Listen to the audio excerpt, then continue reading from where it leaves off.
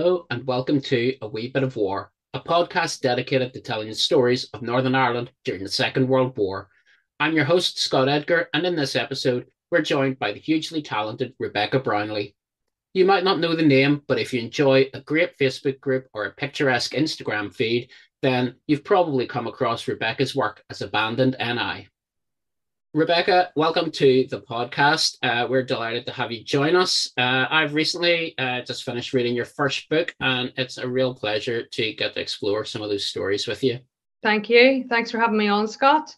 Um, I've followed your website too for a while. It's very good for, you know, background knowledge and stuff for some of the places that I would be in. So I have drawn on it before. Uh, it's it's always good to have uh, mutual fans coming on for for a wee bit of a chat. Um, I had mentioned in my intro that you are the face behind the abandoned NI brand. Uh, I'm certain that some of our followers and listeners will have encountered your work, but uh, for those who haven't yet, can you tell us a little bit about you? Yeah, so basically, I travel all over Ireland documenting abandoned properties, not even just abandoned properties, anything with historical interest as well. Um, so I could be in Belfast one day and then down to Cork the next day. Just I will go anywhere basically to get that photograph. And how how did this start? How, firstly, how did you start? Um, how did you get started as a photographer? Well, the photography thing started um i was 12 and i don't know if you remember a program on utv called sussed with patrick kielty it was on a saturday morning i think it was like do you remember it I, I do, yeah. Um, I think I, don't know how many younger listeners this podcast has, but I, I feel uh, some of us might be showing our age by uh, admitting knowledge of yeah. this program. But we, will say we'll say nothing. Yeah, you're trying to keep quiet in that one. So um, yes, I used to watch that, and there was a competition phone in, and um, can't remember what the question was. Probably something to do with New Kids on the Block, but I phoned in, got the question right, and then I won my first proper SLR. So from then on in, really, I always had a camera and was, you know, practicing taking photographs, and I was always the friend group, the one in the friend group that had the camera and was taking the photos. So that's where the love of photography was born. And then if we go forward a few years, maybe in sort of like my late 20s, I joined a paranormal group um, called Paranormal Ulster. And uh, we would have been all over locations, all over Ireland, castles, houses, hotels, anywhere where we thought was haunted or there was reports of hauntings. And I was the team location finder and photographer for the group. So that brings me to finding a house called Cairndhu House in Larne. It was the first house really that captivated me and I couldn't believe that we had something like this in Northern Ireland. It looks like something out of American horror story, doesn't it? Yeah, it's a it's a wonderful house, and um, you know, for for me as a Second World War historian, absolutely thrilling to pick up your book and and the first uh, you know the first building in there to have uh, such such a rich history in general, but uh, such a good Second World War pedigree as well. Yeah, absolutely. I could, I couldn't have not had it in the book, you know, because it was the start of my journey. And um, it was the first house really that then I started to look at the history of the building and um, brought that together with the photography and then left the paranormal behind. And then I just started documenting these properties and I started the abandoned NI Facebook page. And really it's just snowballed from there. So that's really been going on now for nearly like a decade. And now you you know the story of, of Cairndhu House inside out. I know little bits of it that that kind of are specific to the time frame that that I'm interested in. But for anyone listening, yes. can you give us a, a, little little potted history of of Cairndhu? Yeah, so Cairndhu House originally there was a another house there originally called Seaview, um, and Lady Dixon. So her father uh, was a Scottish industrialist he was Mr. Stuart Clark. He moved over and he there was a house before Cairndhu called Seaview. He bought that and then demolished it and rebuilt it as Cairndhu House, what we have today.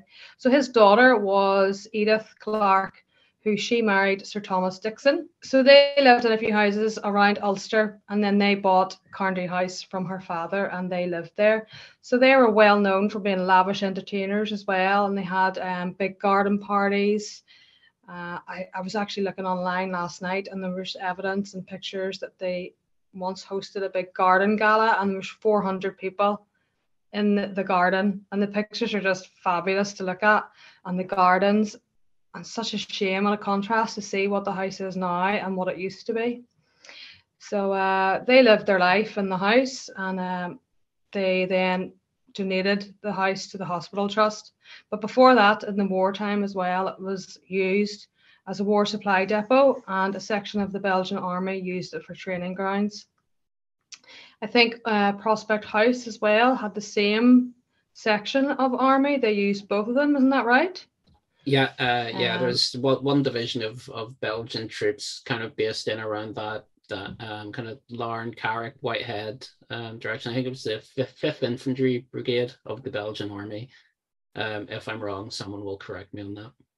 Yeah, but yeah, I think you're right. Yes, and um, so they uh, also she had a Rolls Royce as well, and she donated that, and it was used as an ambulance at that time as well. Um, so basically, they gifted the house to the people of Larne, and then it was turned into a convalescence home.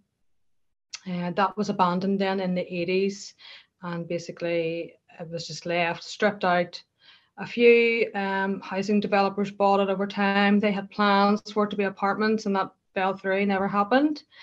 Um, but there's now plans in that have been approved for it to be a retirement village. So I think work is kind of imminent on that now. Not sure much of it's going to be saved because um, a lot of it has collapsed and around the back. Um, but in my time for visiting that house in the last decade, you know, it, it's really sad to see it just deteriorate before our eyes. When I was first at it, it was locked up and the owner let me in, give me keys, and we would go and investigate, you know, other paranormal things.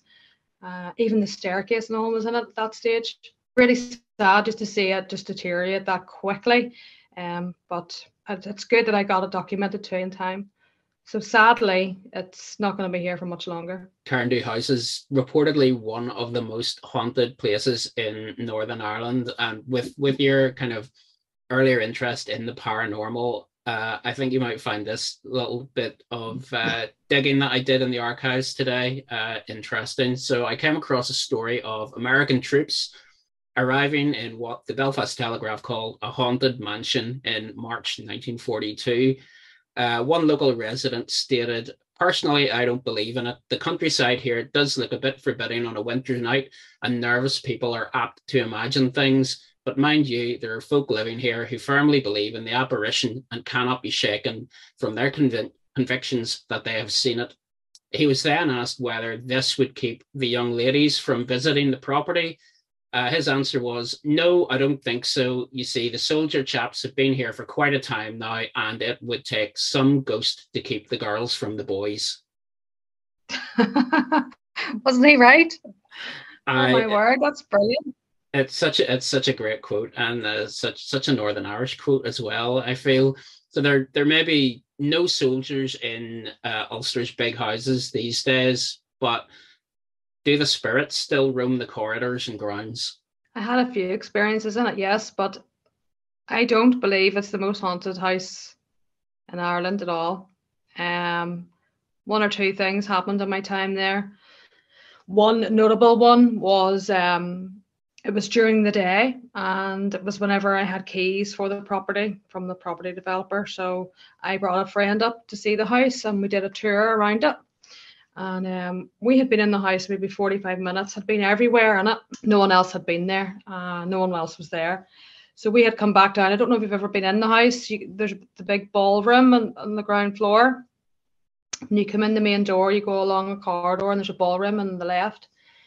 So uh, we we're walking through there. There's a door at the bottom of it and a door at the top. So we had come in the bottom door and we're walking along the top of the ballroom. Now it's pitch black, so you can't see anything. And we did have torches.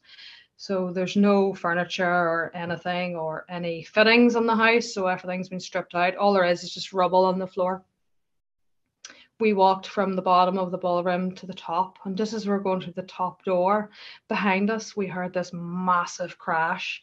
It was like, um, do you know if you had those big heavy radiators? It was as if someone had one of those and just threw it in the floor and it was bam.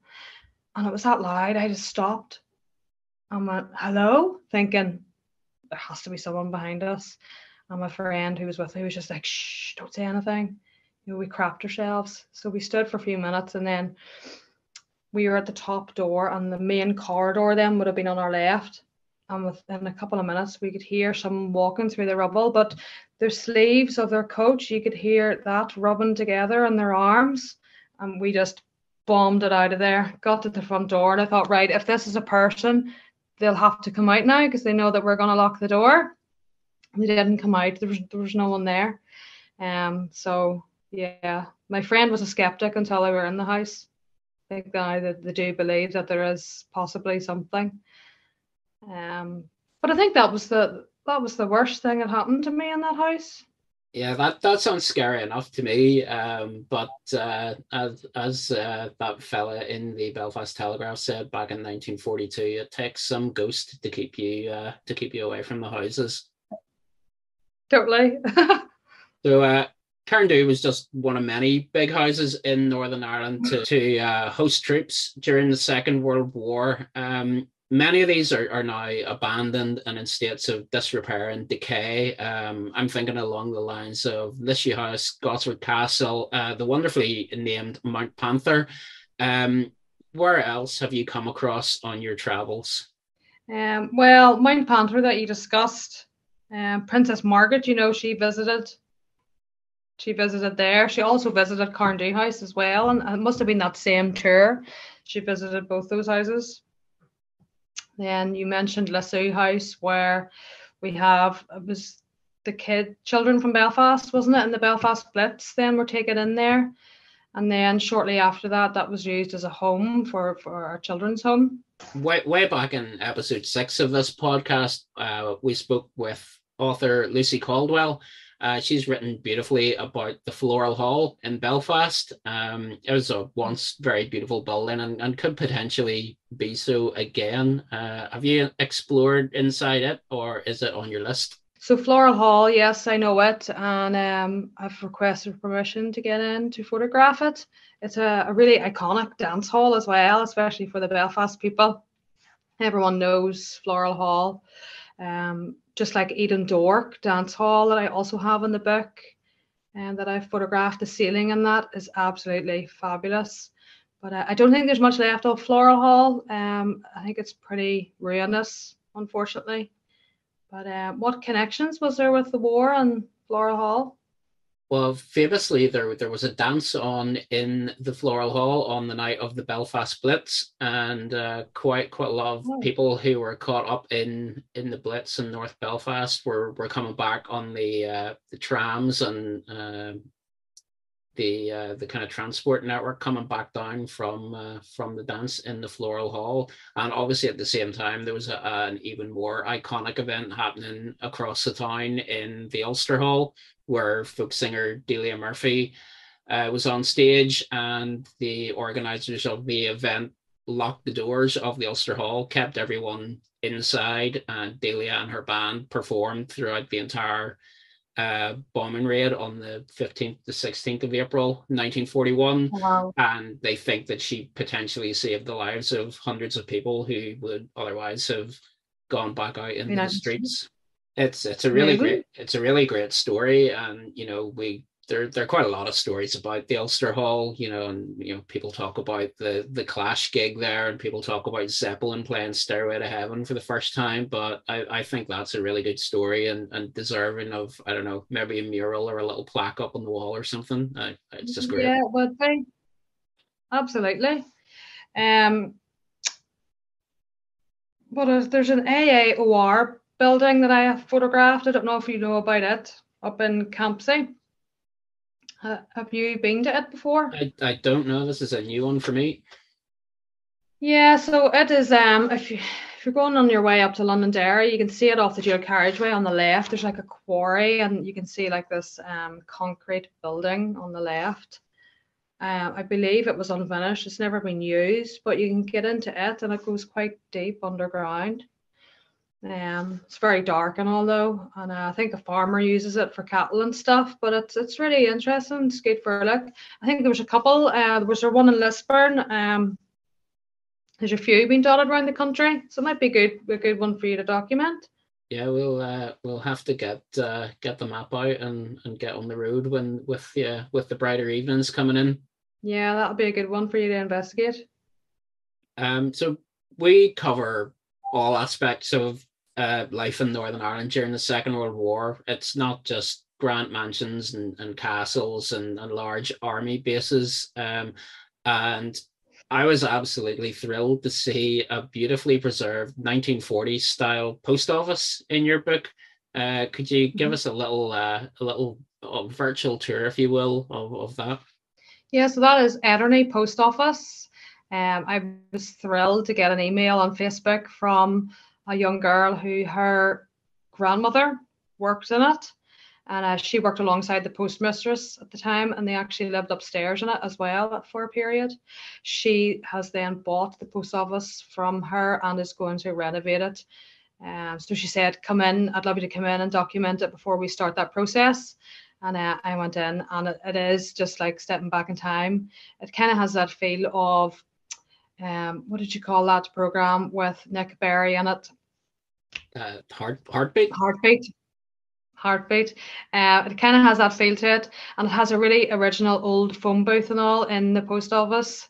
So it has it's like a wooden phone box, and uh, you open the phone box and it has all the wee like phone numbers of like the vet, the doctor, and apparently all the locals on the Monday morning and uh, the farmers would have been queuing up to use the phone box in the post office to make their calls. So, because uh, obviously it was the only phone at that time in the area. So uh, just to go in there and see the original counter and all still in place. And it has um, all the old cash books and safes, um, postage stamps, you know, you name it, it has everything. It was unbelievable. And even just to go upstairs and see the bedrooms, uh, they were still as they were, an old Singer sewing machine. Um, you know, it's, it's like getting a ticket sometimes to go back in time and look at people's past, you know, when you go in there and it's a real privilege, you know, for people to ask me to go in and document these for them. Uh, so I don't believe the work has started yet. So I might get a wee return visit before that happens. But um, yeah, it's really good to be asked to come and, and, and do this for people. Um, obviously, I give them prints to keep, you know, so they have photographs of what they were like as memories. But uh, yeah, that wee post office was really nice. We did actually a radio show with John Toal from inside it. He came down and he documented it, and we got um, her granny in, and she spoke about you know working in the post office and what it was like, you know, in her day. So uh, it's really special to be part of things like that. Yeah, it's fantastic to just bring you know what what could just be a series of photos, you know, then becomes a whole social history and, and an oral history and you know it's it's a much more kind of rounded way of of remembering what life was like. It really was you know and that that was it. At the start of my journey i think i looked more at just the photography but um as i evolved and started to do it more um i realized that the history was just as important as the photograph and the story of who lived there and then the things that I was starting to uncover were incredible, you know, things that you just would never, never realize. Like that story you said about the Ulster Hall, you know, things like that that we just we don't know. And I suppose you don't know until someone does the research and does the work and talks about it. Uh, but there's so many more places just to to find like that and so many more stories. What what has been kind of one of the most yeah, whether it's it's it doesn't have to be Second World War related because I'm I'm just a total history nerd in general. So what what's been the one story that that you've uncovered in the last uh, decade while while you know working on this? There is a couple, but one that stands out is country living in the book. Um, it was Daisy's house, so um, it's been one of the most rewarding ones that I've done.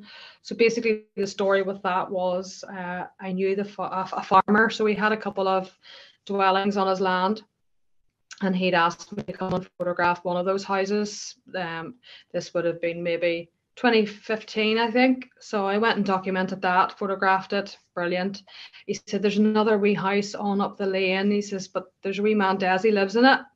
He's not well today. He was away. I think he was away to the hospital or whatever. He says, however, when he comes back, I think you be good for you to meet him because he loves to talk about history and whatever.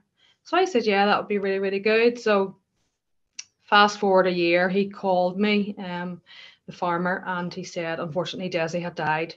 Um, however, he's willed me the house and I'd like you to come up and see what you think of it. He said, I'm not sure if you like it, but come up and have a look and sure see what you what you think and you can it. So um, I went up that Sunday morning, opened the door, and it was just like something out of the folk museum. You know, it was incredible. The stuff that were was in that house was Victorian style uh, clothing. You know, the big trunk chests. There was three or four of those. One of them had um, was full of love letters. So there was three brothers had grown up in the house, and the middle brother Cecil had a girlfriend, and um, they were supposed to get married. However, she jilted him at the altar. But the communication uh, continued, and they still continued to, to write to each other. So there was love letters in there from the 1930s up until the 70s.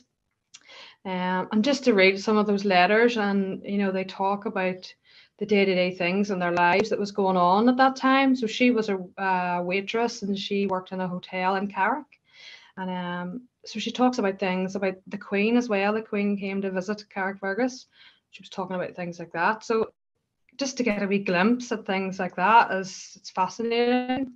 So other things in the house, um, old photographs, um, old certificates, you name it. You know, it had everything. Newspapers from 1911 it was a real treasure trove and they never threw anything out so they kept everything which was good for me but there was one there was a box in the in, in the corner of one of the bedrooms and um, it was like a wee black wooden box and it had a, the initials er mcqueen on the box and i op- opened the box and there was a photograph of a policeman in his uniform there was um, certificates dating back to the late 1800s. There were letters, there was a wee necklace, just bits and pieces relating to this E.R. McQueen. So McQueen wasn't a family name and no one knew who he was. So we couldn't place who, who this man was. Uh, so after the documentation finished, you know, I was there for maybe three months, going every weekend, going to the house, photographing. We were clearing everything out. Anything that wasn't um, worth anything was thrown away and the other stuff was donated to me to keep. Uh, down the line, I want to have my own wee museum and I would put stuff like that into it, you know, on display. So I had an exhibition on the house in Cookstown because that's where it was. Um, I had an exhibition and I had a talk on the opening night. So I went through the presentation and talked about what I found and all the history and and uh, I got to this box of E.R. McQueen, and uh, someone said, I know McQueens, they live in the next village, they might be a relation. So I was like, Great. The next day, I went to that house and said, Do you know who this man is? So it turns out, yes, he knew him. He was a great nephew or something, uh, would, would have been his great, great uncle. So his name was Edwin McQueen. So Desi, who was the last son that lived in the in the house, his mother had been married before to Edwin McQueen. So that was her first husband. And they'd only been married for uh, four months, and Edwin died, unfortunately. So they were only married for that length of time, no children. And then Desi's mum obviously got married again and had her family. So just finding that, you know, if I hadn't have found that box and researched and found his family, we never would have known who he was, and that could have been thrown away and forgotten about. But whereas I can keep his memory now alive, and I was able to give his uh, great nephew uh, a photograph and a few bits and pieces out of the box where you know he could keep that. So that was really really special. That that's incredible, yeah, and, and really really special. Kind of you know a whole turn of events there from from a chance conversation you know with with someone completely unrelated to you know to things so i think that for me is one of the most important ones that that that sticks out but hopefully i'll have more houses like desi along the way fingers yeah, we, crossed we'll definitely get you back on for a chat, uh, you know, in, in a little while and see see what else you've uncovered. Yeah, um, totally. I was pleased to see that your book covers not just Northern Ireland, but the whole island of Ireland. Um, I've visited Dunree Fort in Donegal in the past, but I was surprised to see a relatively new to me fort in the book, Leenan Fort. I believe it's also in County Donegal, and it's quite spectacular.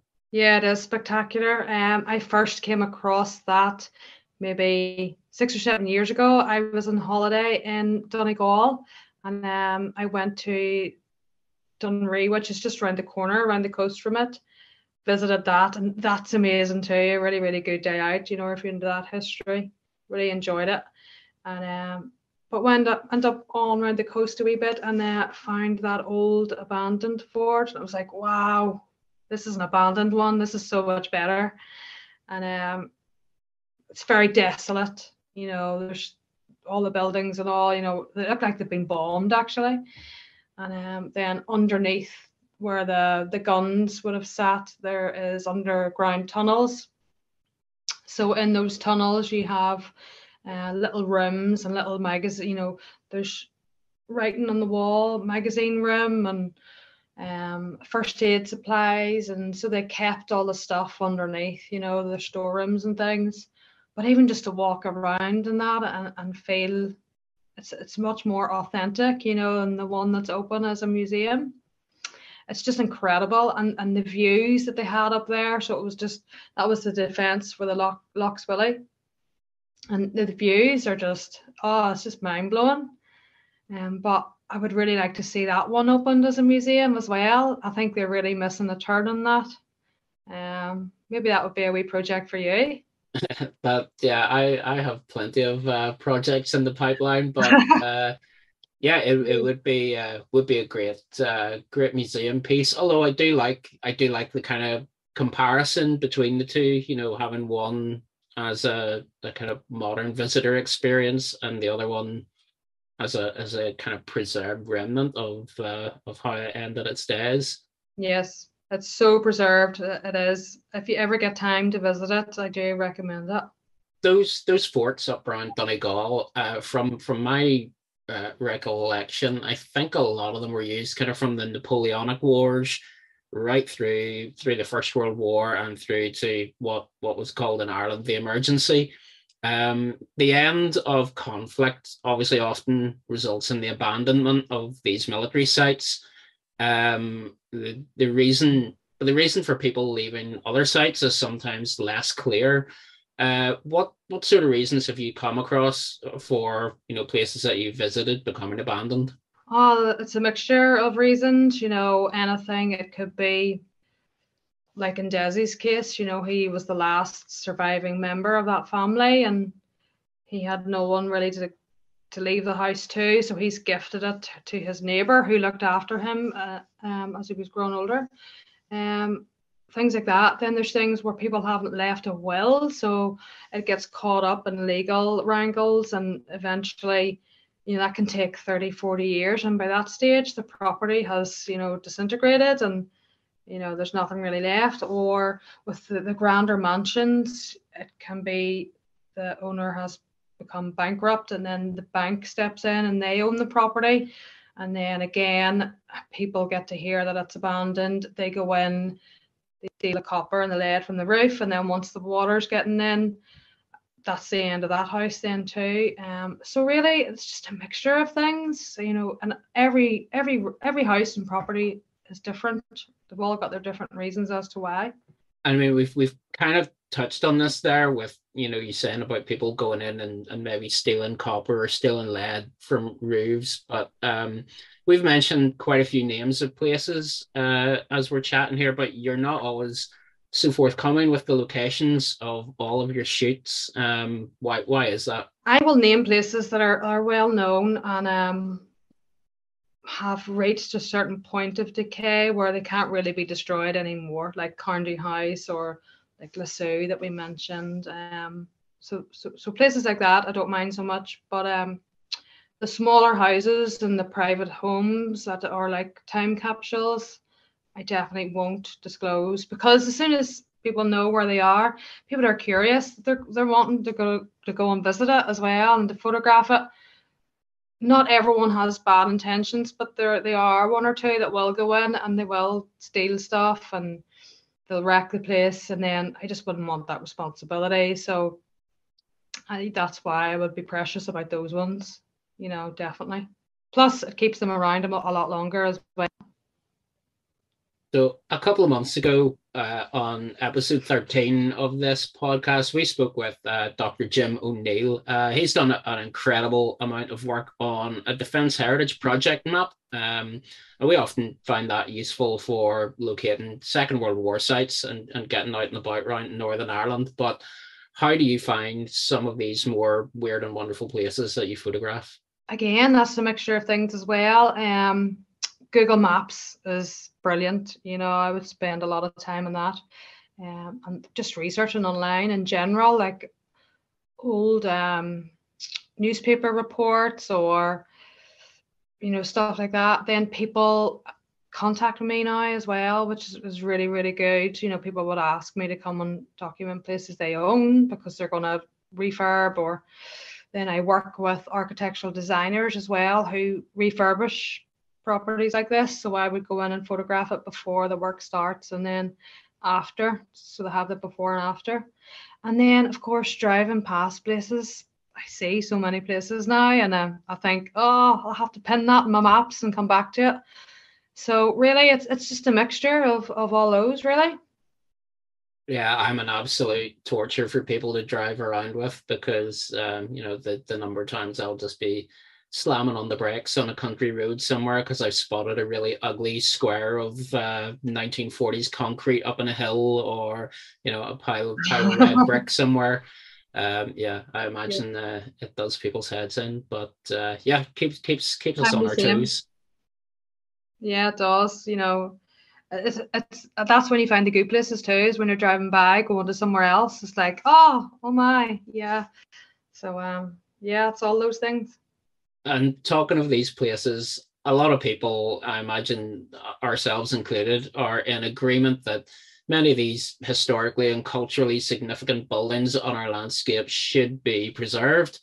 Uh, one of our regular uh, listeners, Councillor George Dorrian, is fronting a campaign at the minute to preserve pillboxes, shelters, Second World War sites.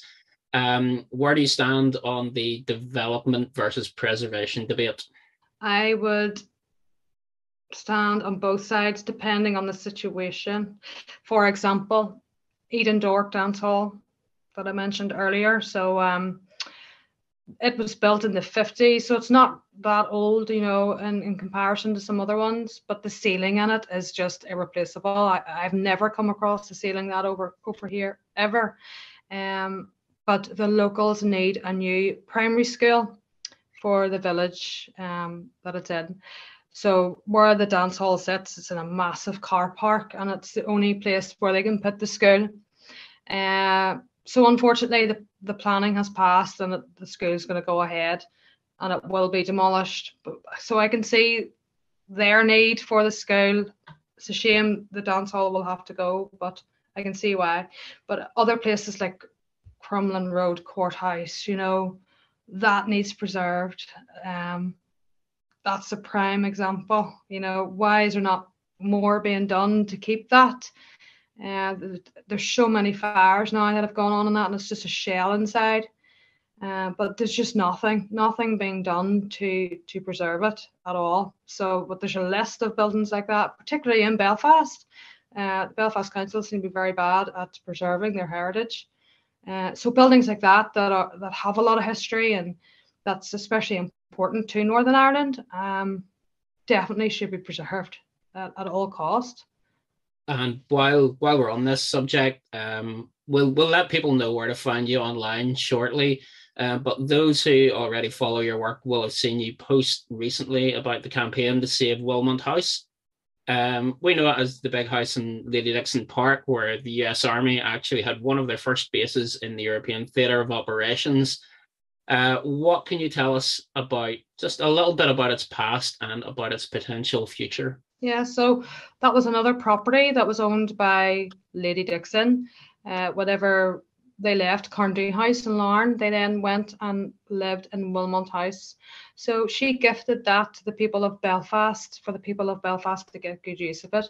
And um, it was to be a, a nursing home for the elderly, which it was. So she, whenever she died in the 60s, it was then a, a nursing home. Um, after that, then the nursing home closed down, and then the council have sort of had it the last sort of 10, 20 years. I think you used to be able to have weddings and sort of occasional events and stuff in it. But the last 10 years or so, it's been abandoned and it's in a really, really sorry state. Every time I go and visit it, there's more damage has been done to it. But the council, again, have just pushed it aside. They don't want anything to do with it. And um, so I've, I've actually spoken about it a couple of times over the years but now we're actually going to start action on it and get together you know some sort of group and just keep it in the highlight and try and just push forward and get something done and get it saved because what an insult to the dixon family you know they gifted both of their beautiful homes for the people to use and they've just been left and discarded and no one cares so i think it's about time that something was done about it it's too late for Cairndhu, but Wilmot, I think, still has time.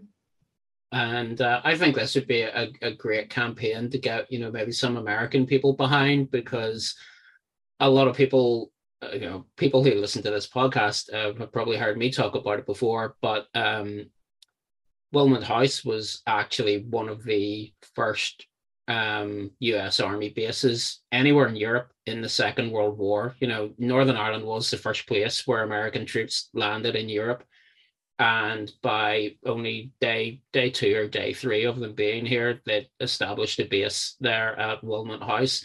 It had visitors like Eisenhower.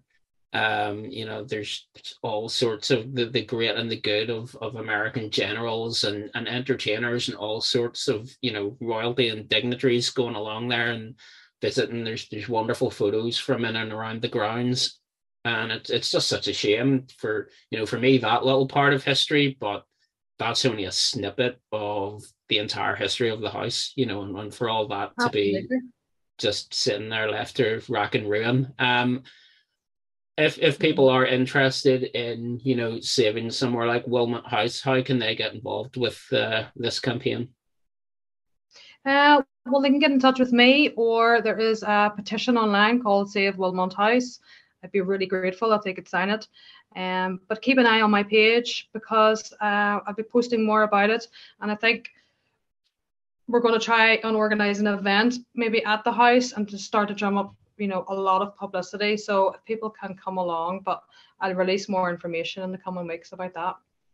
Well, we would certainly uh, do whatever we can here to, to help you with that. Um, once our listeners have added their names to the petition, we would of course encourage them to uh, go and support your work and keep up with your travels around abandoned northern ireland uh, how and where can they do that yeah so facebook instagram abandoned ni and uh, my website abandonedni.com and of course while they're there they should most definitely pick up a copy of the book anyone who's watching this on youtube um, or, or on my website can see I've got a copy of the book uh, right there beside me. Um, you should get one too. It's it's an absolutely stunning um, piece of work. Um, absolutely great histories, great great great stories, and wonderful photography. Thank you so much. Um, Rebecca, it's been an absolute pleasure talking to you. Uh, thank you for giving up your time. Uh, I hope to chat thank to you, you, again soon, and uh, maybe we'll we'll even hit the road this summer to, to go and do some exploring. Absolutely. Thank you, Scott. Subscribe to A Wee Bit of War on Apple Podcasts, Google Podcasts, Spotify, or wherever you listen to your favorite shows. That way, you'll never miss an episode. Tell your friends, tell your family, tell your co-workers, break all the rules of the Official Secrets Act, and why not leave a review to help others find the podcast? Thank you for joining myself and Rebecca Brownlie, and I look forward to your company again next time for another Wee Bit of War.